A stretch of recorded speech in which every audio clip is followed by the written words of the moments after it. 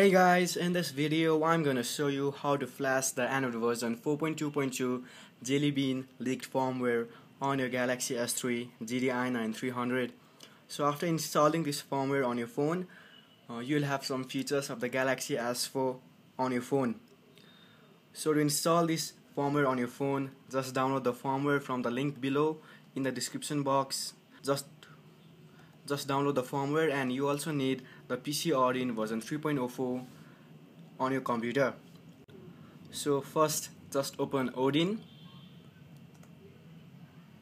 And then we need to boot our Galaxy S3 into download mode.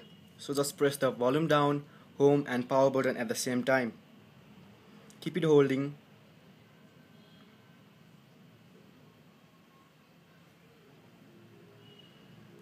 And now my phone has rebooted into download mode so just press volume up to continue.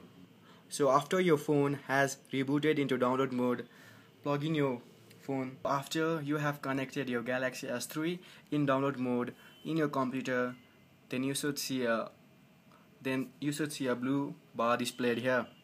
And now just navigate to PDA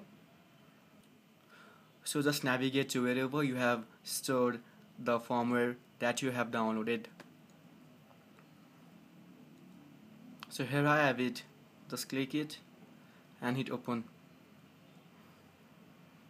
So after you have selected the file make sure the repartition here is not checked and then hit start. So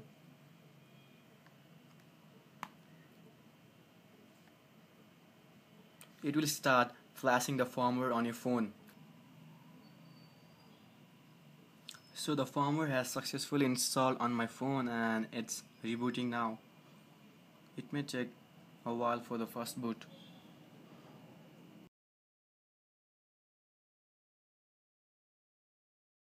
So now my phone has rebooted and I have the Android version 4.2.2 installed on my phone so you can just see the layout is very much similar to the Galaxy S4 and I have the Android version 4.2.2 installed on my phone.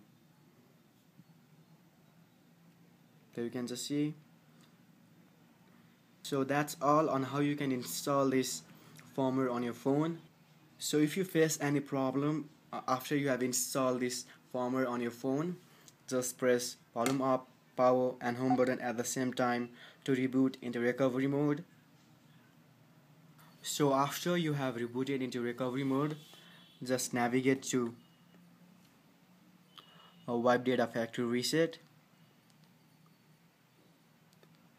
and then hit yes delete all user data and then go to wipe cache partition and then hit ok so after you have done these two steps just go ahead and reboot system now and the problem you are facing should be solved so that's all on how you can install this custom firmware on your phone.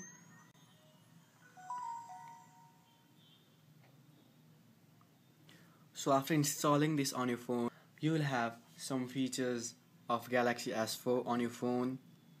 Like you have the Android version 4.2.2 the quick toggles and a lot more. So that's all.